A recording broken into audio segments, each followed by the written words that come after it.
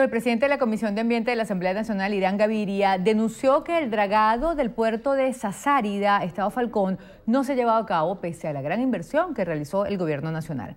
Gaviria escuchó los planteamientos de los pescadores afectados por el incumplimiento de estas obras. Estas obras no se han realizado a cabalidad y hay las denuncias de los pescadores y de la comunidad que el puerto no ha tenido el verdadero dragado y mantenimiento. El pesquero de esas áreas sigue esperando de la mano piadosa y generosa del actual régimen con relación a un dragado definitivo con suficiente asistencia técnica. El diputado llevará las denuncias de los habitantes de esta comunidad ante la Asamblea Nacional.